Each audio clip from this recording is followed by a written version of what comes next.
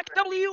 WNST, of Baltimore, and Baltimore Positive. We are positively taking the Maryland Crab Cake Tour on the road for the holidays.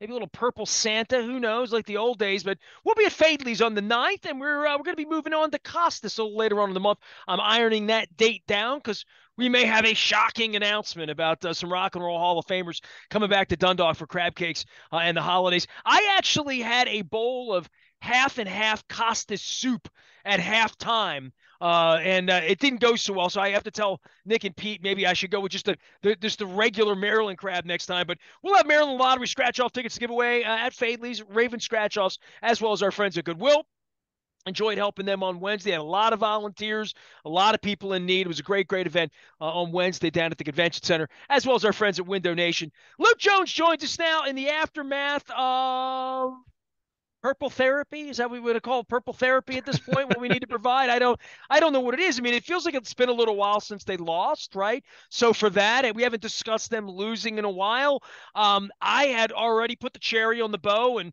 had started you know writing my columnists about them as a victorious team. And then i had to sort of rewrite the script a little bit. Uh, just a, a, crazy game. I, i'm still trying to process what the hell happened in the last 10 12 minutes of that football game so you're saying it's your fault? You jinxed them. I have no I, I will say this. It is the first Jaguars Ravens game I've ever missed. I went back through all of them because you know, we played in their division, and I mean mm-hmm. I remember Eric Zeier tripping on John Ogden's leg you know, and, and lo- losing a game at the end because of that. So, I mean, weird stuff has happened down there, let alone Wembley. But this one, this is an all timer, man. This is right up there with Jimmy Smith for me, Zay, Zay Jones. Well, uh, yeah, in, in some ways, it kind of felt like those early days where the Ravens couldn't beat the Jaguars. I mean, you were mentioning uh, the old AFC Central and you know uh, one-time rivals where I can't see the, a Ravens Jaguars game without at least thinking about Tony Banks to Shannon Sharpe once. Uh, I mean, that was the game that put this franchise on the map in terms of really arriving. But uh, what we saw on Sunday, uh, unfortunately for the Ravens, was very reminiscent for me of what we saw up in the Meadowlands back in week six uh, against the New York Giants, in the sense that you had a Ravens offense that moved the ball up and down the field, well, between the 20s anyway, through uh, the first half into the into the into the third quarter and red zone woes, which have been the story of this team since week four, really. Uh, I mean, you go back and look, they were, I think, eight for 10 over the first three weeks of the season inside the red zone. Since then, nowhere close to eight for 10. Let's put it that way uh, without having the exact numbers in front of me. But uh, a game where it felt at halftime like the Ravens should be winning at least by let's say two scores with the way that they moved the ball. The defense, I mean, the defense played well in the first half, one drive aside, and, and keep in mind that was after uh, the fourth down, you know, unsuccessful fourth down try. Jacksonville got the ball at midfield on their solo touchdown drive uh, in that first half. Defense was phenomenal in the third quarter, two, three and outs and a, a takeaway. But then what we saw in the fourth quarter, which wasn't uh, talking about that Giants game. I, I put that way more on the off the offense and you know Lamar's pick and, and the strip sack to to end it uh, and whatnot. But we saw a defense that played so well through three quarters fall apart in the fourth quarter. Third and longs, fourth and longs. That Trevor Lawrence. So give him credit. You know he he. He's pretty good, by the way. He's pretty good. You see the flashes. Uh, I mean, certainly you look at the final numbers three touchdowns over 300 yards, 29 of 37. I mean, that speaks for itself. You certainly can see times where he still shows his inexperience. And I, I would also say, you know, while he has some better receivers than the, the Baltimore Ravens have right now, still a team that clearly has a ways to go. But I was saying this. I was talking about this with you early last week. I talked about this with Dennis uh, as we got closer and closer to Sunday. If you looked at this Jacksonville team at three and seven, and look, I'm not making an excuse for the Baltimore Ravens here. You know, they they choked. this is another uh, two score loss that they've blown, a, uh, you know, a lead that they've blown in the fourth quarter. Uh, you know, it's it's a pattern at this point. It's happened in each of their four losses, and they're seven and four, as opposed to being not saying 11 and 0, but nine and two, let's say, uh, if you don't have that issue uh, to the degree that they've had it. But you know, it, it's certainly you know it's disappointing. And, but at the same time, this was a Jacksonville team that if you watch them on a weekly basis, they only had one loss by more than one score. It was a 10 point loss to, to Kansas City.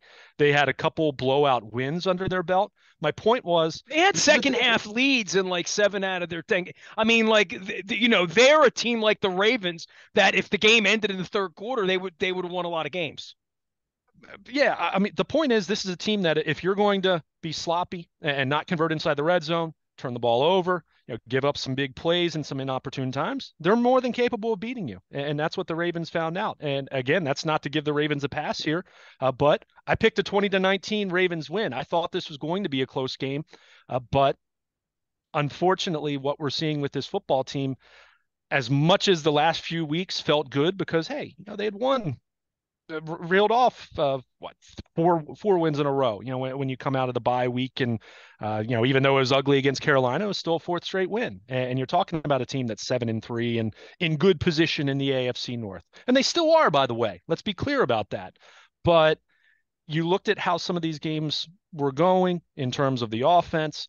Yes, the defense played very well against Carolina and New Orleans, but I think a few people uh, in town were a little too quick to to start pumping up what this defense was. We, when you consider they were doing this against Andy Dalton and against Baker Mayfield, who, by the way, just got benched. Uh, so we saw it. Uh, once again, this team having trouble putting together a full 60 minute performance. For the offense, it was three quarters of not being able to put the ball in the end zone once you get inside the 20. For the defense, it was a fourth quarter where they fell apart. And it adds up to uh, what was a one point loss, a very exciting football game, uh, if we're looking at it through a, a, more objective lens, but certainly a very frustrating day for the Baltimore Ravens because, uh, again, another game that should have been in hand. When you talk about the fact that they scored to go up 19 10 with 13 minutes to go, the way this defense had been playing, that should have been that, but it wasn't. And that's why this team uh, was flying home on Sunday night having lost. And kind of thinking back to some of those issues that were plaguing them earlier in the season, rearing their head on Sunday. Well, I mean, Luke, we'll chalk it up to, to red zone issues, right? We'll say that and say, well, you know, they're kicking field goals, a couple touchdowns there. That they laugh and they win the game by 13 points and it's all good. And I agree with all that. But the mistakes, the the the drop passes, the, the overthrows, the Lamar runs left, Lamar runs right, Lamar runs, Lamar runs when they don't have anything else. And there were times they didn't feel like they had anything else. Now, Oliver, we'll talk about him and his mm-hmm. homecoming and his revenge game against uh, Jacksonville, who drafted him and then gave him away, and uh, and and him being targeted in the game. But for me, it's about mistakes. It's about drops. It's about overthrows. It's about the quarterback not being accurate. It's about receivers not dropping the ball when he is. It's about them not running the ball well and trying to run and staying on the run with it. Um, and all that comes before the defense, right? Whether it's Duvernay dropping a ball or whoever whoever's out there, um, you, there's always this flash of a play here or a play there or a week here. I mean, DeSean Jackson saved the day for them for a moment, right? Like won the game for them with one crazy play, and he was sitting on a couch three weeks ago. Um, you, you, they have that in them to walk the tightrope because they're good enough on any given play to complete a bomb after stinking all day, but they stink too much. They're this is a wildly inconsistent offensive effort all the way around, whether it's sometimes protecting Lamar, sometimes what they want to do. I mean, you want to beat up Greg Roman, have at it with him as well.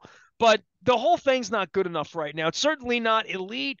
It's certainly not we're going to win three, four playoff games in a row like this. And then we'll talk about the defense. But to me, the offense, it's it's been not good enough recently to overcome mistakes, deficiencies, or, you know, when the defense just stinks for a quarter the way they did on Sunday. And that no lead was safe. They had a three touchdown lead they blew at one point with this defense, but I thought the defense had come a long way. And before I talk about that, I do want to talk about this offense isn't very good. Lamar wants $250 million, and I don't know where this is headed because it doesn't feel like a Super Bowl team to me.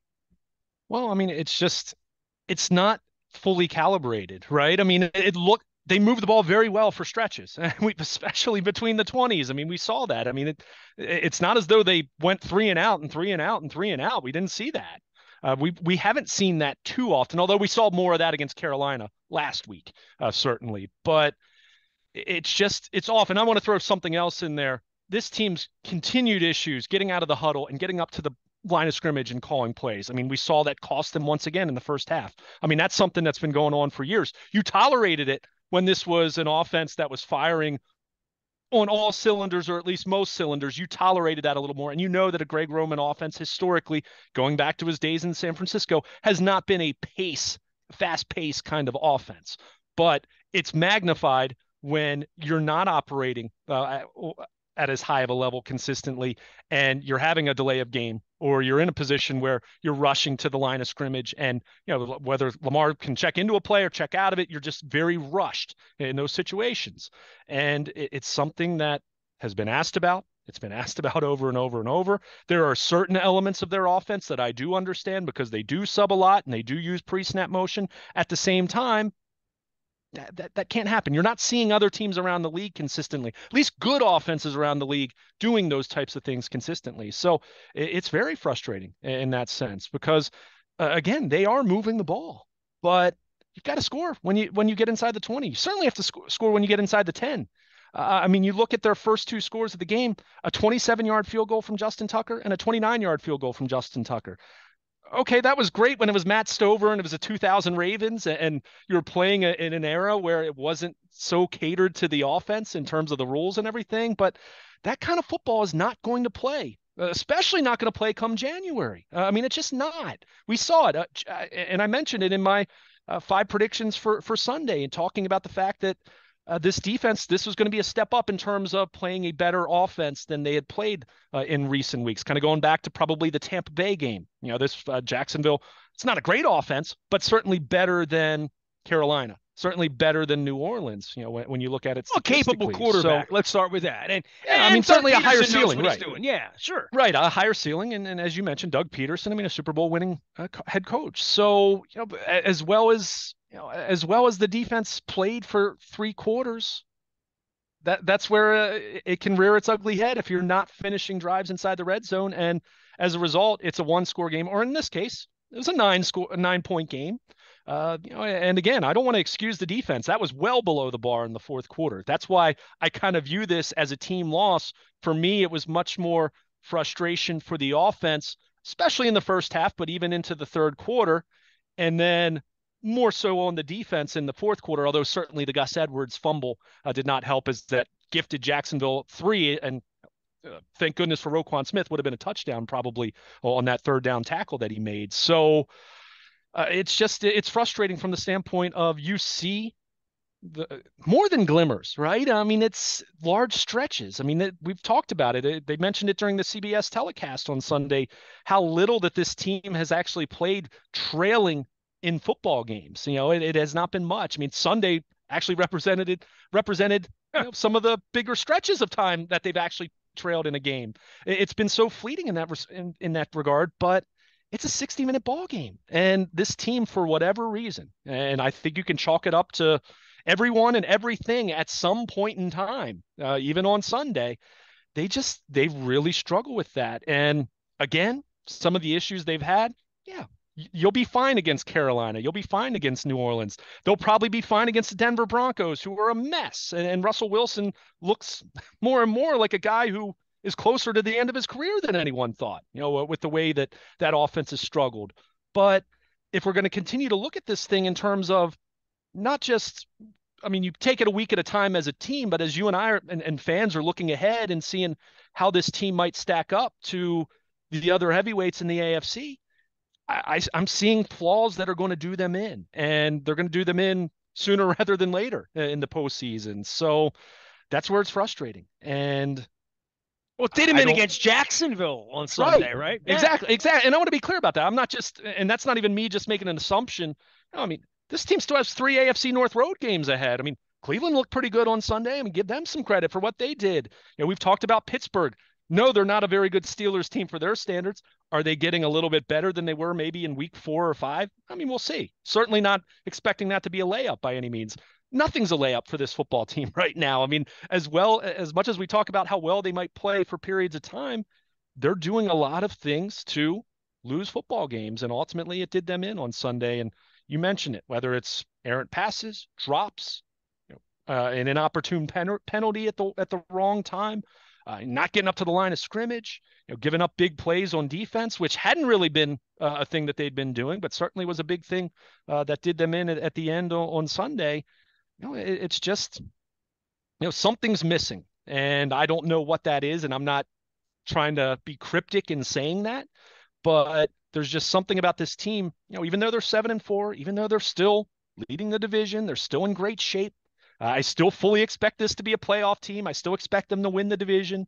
But if we're looking at this in a big picture sense, why are they having such a difficult time playing 60 minute ball games when you consider that this was now the 11th game in a row, all 11 games they've led by two possessions. It's no longer double digits because they only got to nine as far as their lead on Sunday, but they've had a two possession lead in all 11 games this year and they're seven and four. If you knew nothing about the Ravens whatsoever, and I only told you that, you would say something's amiss here, right? You would say that, uh, you know, uh, unless it's just, I don't know, just some bad luck, miraculous bad, you know, a, a bad team that miraculously uh, has a has a way to lead in some football games. I think back to the '96 Ravens. They that team blew a bunch of leads that year actually because they couldn't stop anyone in the end.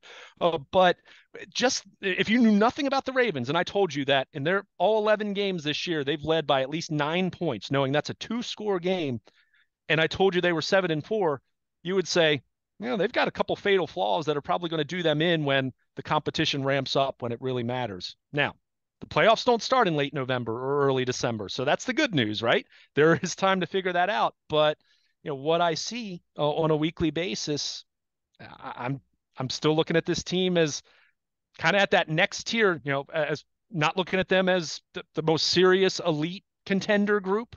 I kind of put them at, the, at that next tier. And you know, Sunday was another example of why I'm reluctant to put them to, to have them graduate even after they had a four game winning streak. He is Luke Jones. He is Baltimore. Luke, you can find him out on the social media as long as Twitter is still alive out there. I want to give a shout out to all of our sponsors and friends that have uh, taken great care of us here during the holidays. Had a great, great Thanksgiving over the weekend. Uh, got out, did some visiting. We have a new sponsor with Drug City uh, in Dundalk joining us here beginning now. So we're doing some crab cake tour stops down there. We get out to Faidley's uh, as well as to our friends at Costas later on this month. We were Pappas two weeks ago. It's been a uh, it's been a great little run of uh, getting together and a great holiday, which really sort of let the air out of the tires of a four game winning streak and all this. Look, let's talk about the offense. I mean, we'll talk about the defense when the time comes and this latest thing, whether Marcus Peters is half over the hill and why they're looking to strip every single ball instead of trying to make some plays. Um, the pass rush.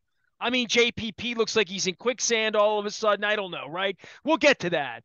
Offensively, let's talk about wide receivers. Let's talk about who catches the ball forget who's blocking because they're going to miss Ronnie Stanley, right? So I could chalk some of the issues up and say, all right, it's it's certainly not going to be perfect without Ronnie Stanley in there. They need that for me to win four games in January, February. I won't, including getting past Cincinnati, right? So I believe that on Ronnie Stanley. But let's say, okay, he'll be back in a week or two or five or whatever Harbaugh's going to lie about this week, right? So Mark Andrews, Convinced that he's right, convinced that the shoulder's right. Wide receivers. We know Bateman's not coming back, right? Like, can they do wide receiver by committee? And then the running back thing. I mean, Dobbins is going to be quick to try to rush back because he wants to get paid or whatever. They rush Edwards out there. He's fumbles. Like, I just weird, weird. Duvernay doesn't drop balls and drop. Like, th- there was a, a series of things when John gets together after all this is over with and talks to everybody, he'll say, "Well, you know that that's not a trend. That's a one-shot thing."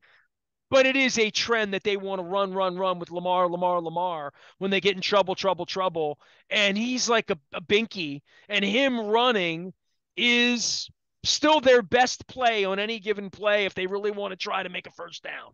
They really want to try to get 10 yards on one play. Lamar breaking an ankle and falling forward for eight and being in second and two, it's still their best play. I, they don't have a play anywhere near that good, other than Andrews, which doesn't feel as available as it has. Well, I, I think uh, you know what you just said. For me, I, I look at the rest of the running game on Sunday. I look at what the running game was until late against Carolina. Lamar you know when it when it's scrambling even the design runs typically that's that's working right? I mean you just you just alluded to that breaking not his ankle breaking other people's ankles uh, as they're trying to tackle him in uh, in vain as we've seen that for the better part of five years now uh, five seasons now. But uh, i look at gus edwards 16 carries 52 yards 3.3 yards per carry uh, justice hill one carry three yards. Kenyan drake two carries two yards. I mean you add that up i think what you're seeing we saw carolina do it uh, and I, without seeing the all 22 as you and I are reacting to the game, and uh, you know, as you know, maybe we'll get a little more clarity up, you know, a little further removed uh, as you take a look. But I think you're seeing more and more defenses are not respecting this passing game, and and I don't mean in the sense of how the Ravens have always been run first, but we've talked about this. You and I have had this argument, however many different times, in good nature, but talking about the passing game and what what level of efficiency they need to have. This is not an efficient passing game. I mean, Lamar finished with 254 yards, got the big play to Oliver, the enormous play to DeSean Jackson. I mean, that counted for over 100 yards right there, 16 to 32. Now, some of those were drops, as you alluded to. Some of those were some errant throws. I mean, a couple touchdowns uh, he could have had with a more accurate ball. But I think what you're seeing more and more is teams are playing more aggressively in the box, more aggressively trying to stop this run than they have in quite some time. Uh, Eight guys even, up front, come maybe. Us, right? and, and, look, they're they they always do that to a point. I want to be very clear about that. But are we seeing that even more? Are we seeing that to a degree that we haven't seen it since maybe Lamar's rookie year? Doesn't mean I think Lamar's playing like the rookie version of himself. I'm not suggesting that at all. But when you don't have threats to push the ball down the field, and again, it's great that DeSean Jackson made a 62 yard catch. Can he stay on the field? Can he stay healthy? Can he continue to do that as he turns 36 years old this coming week? I mean, that's just the reality. Uh, there's a reason why you know, he was available uh, when he was, and that that the Ravens signed him to the practice squad. Uh, we, as you mentioned, no Rashod Bateman. He's not coming back this year. So, do they have enough to put pressure on pass defenses on the outside and deep? And when they get that opportunity, even though Lamar threw a beautiful pass to, to DeSean Jackson, we've also seen some examples where they've disconnected when they've gotten that chance to make a big play. Uh, I think we're seeing de- defenses be more aggressive about the run. And I think even though we talked about it early this season that Lamar was shredding the blitz early on, and we saw that big time against Miami in week two. We saw that against uh, New England in week three.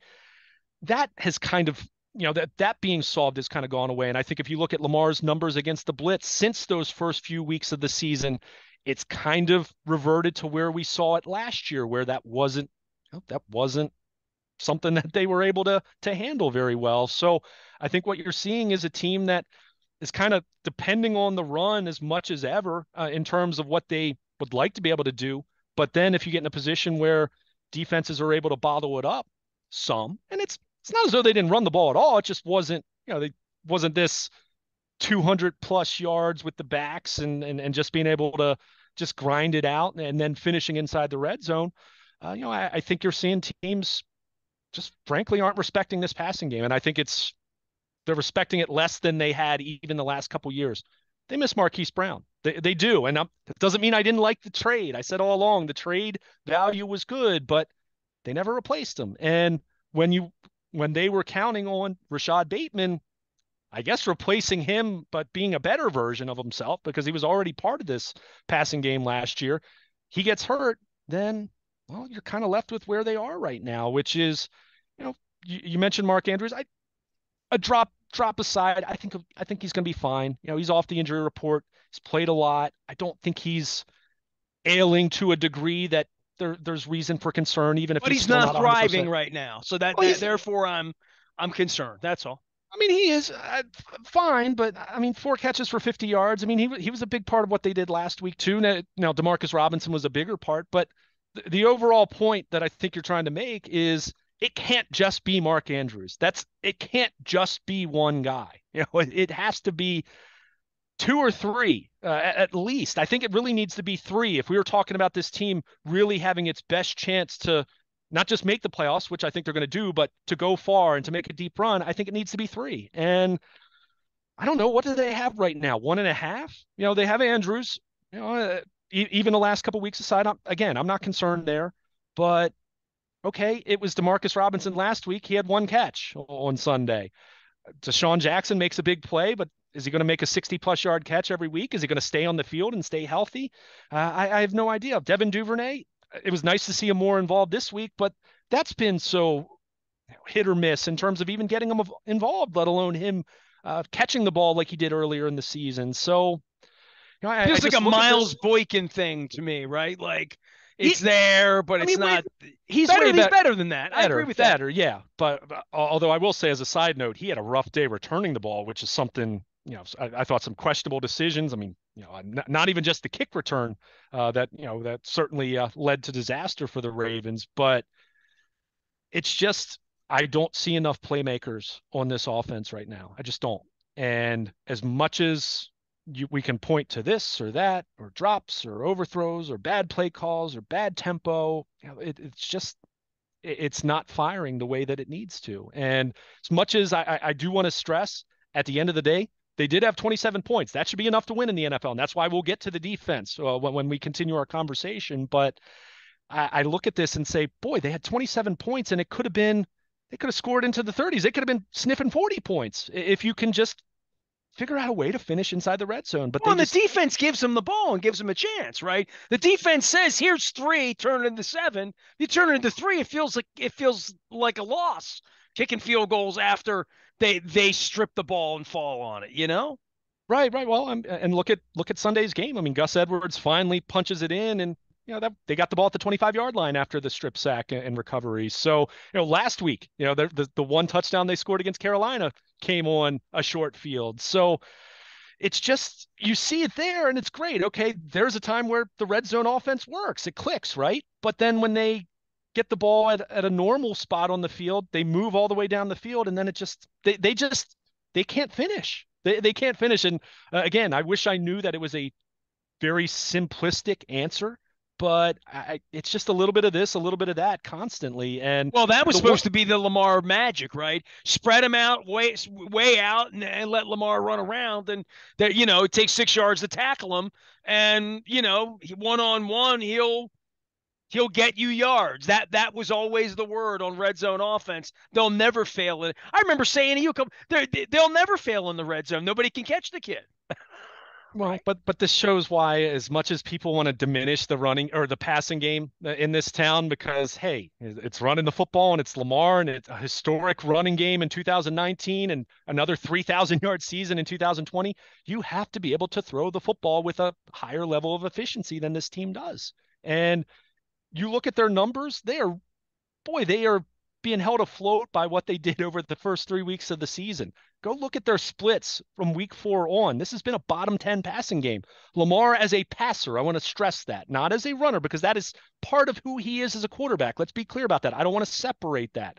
I'm not saying Lamar is a bottom 10 quarterback or a below average quarterback, but since the first three weeks of the season, statistically, it's been pretty ugly if you look at what he's done throwing the football in terms of yards per attempt, in terms of, I think he has seven touchdown passes going back to week four. And I mean, he's had Ronnie Stanley for half of that. Right. And uh, I'm glad you mentioned that because the one thing I do want to say that I think was a big problem when their passing game got into trouble last year and the year before was the pass protection breaking down so often. Any metric that I look at, and, and I'm going to be the first to say, I'm not an offensive line savant in terms of like breaking down film and telling you what's a great offensive line and what's not.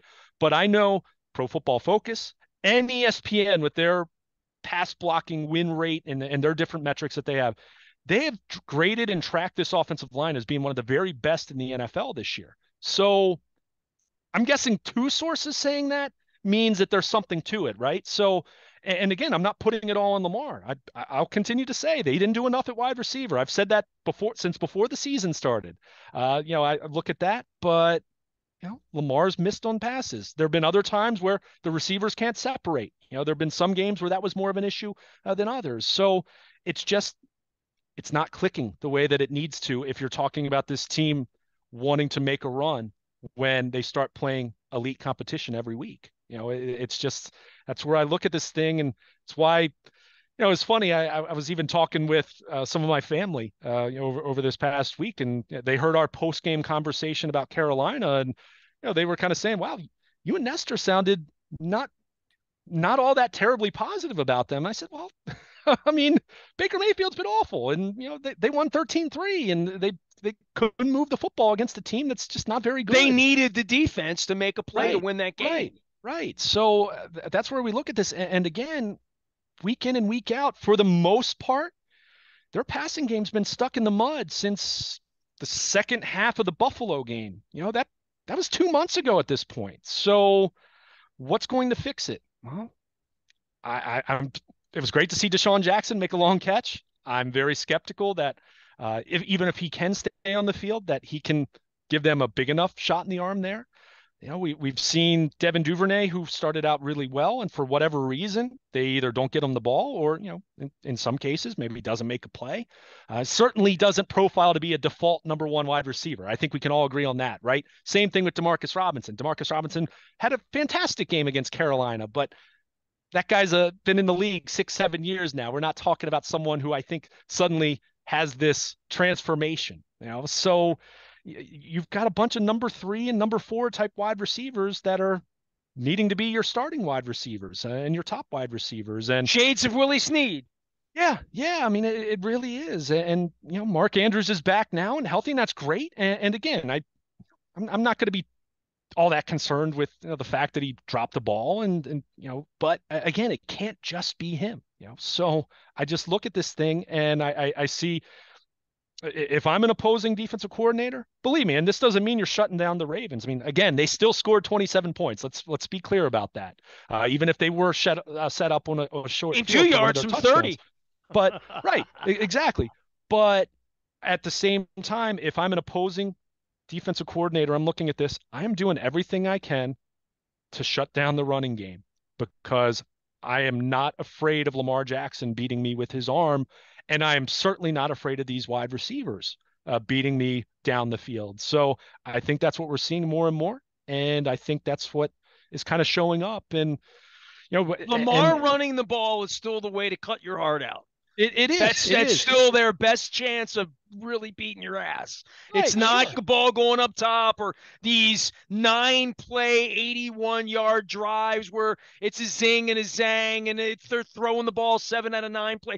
That That's not how they're going to do it. And I don't know that they can slobber knocker 14 play running oh. drives when Gus Edwards isn't getting yardage and if Lamar's not getting eight yards on first down.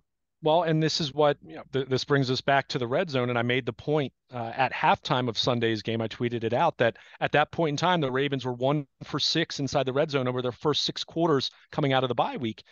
That right there is a formula for keeping even lesser teams firmly in the ball game. I mean, that's just the truth, you know. We, and this isn't a, anything that's new to the Lamar era. We talked about I, I, can famously remember having conversations with you talking about in the Joe Flacco era at times when the Ravens would be going up against New England in their heyday, or Indianapolis, or or Denver in, in Manning's first couple years with the Broncos, where you would just say, if you're kicking field goals inside the red zone, that's you're going to get beat uh, against those teams. And, and, you know, while I certainly don't put Jacksonville in that category uh, as far as their offense, but it was a better offense than the Ravens have played here of late. And boy, they they they get they were able to finally get going in the fourth quarter, and well, all, all those missed red zone opportunities ended up costing the Ravens in the end. Even if again, that does doesn't mean I'm giving putting the defense, uh, you know, letting them off the hook because certainly we'll talk about what happened in the fourth quarter for that group. Yeah, I was gonna say I don't know wh- whether it's burying the lead to not talk about the defense first or talk about the offense. I'm more concerned about the offense than the defense over the longer stretch of what they're gonna need to do in January. So for me, that's where we are. Luke is here. I am here. He'll be in Owings Mills all week if they let him. Uh, Denver is coming to town this week. Uh, they do not have John Elway or Peyton Manning or even Brian Griese this time around. Uh, we'll be monitoring all that. Uh, happy leftovers to everyone out there celebrating Thanksgiving. We're going to get the Maryland Crab Cake Tour back out on the road. Brought to you by our friends at the Maryland Lottery in conjunction with Goodwill as well as Window Nation. We'll be doing the ninth at Faidley's. That is next Friday and putting a date together for Costas before uh, Christmas as well And uh, just, uh, you know, crazy times when the Ravens lose a game like this. We'll be talking about it all week long. Got a bunch of political stuff in here, got some great sports stuff in here. Uh, if you have not heard our chat with uh, Mike Bordick and Adam Kolarek and his dad, Frank Kolarek from Matt Papish, definitely want to check that out as well. I am Nestor. We are WNST, AM 1570. It's House in Baltimore doing the purple therapy that we call BaltimorePositive.com.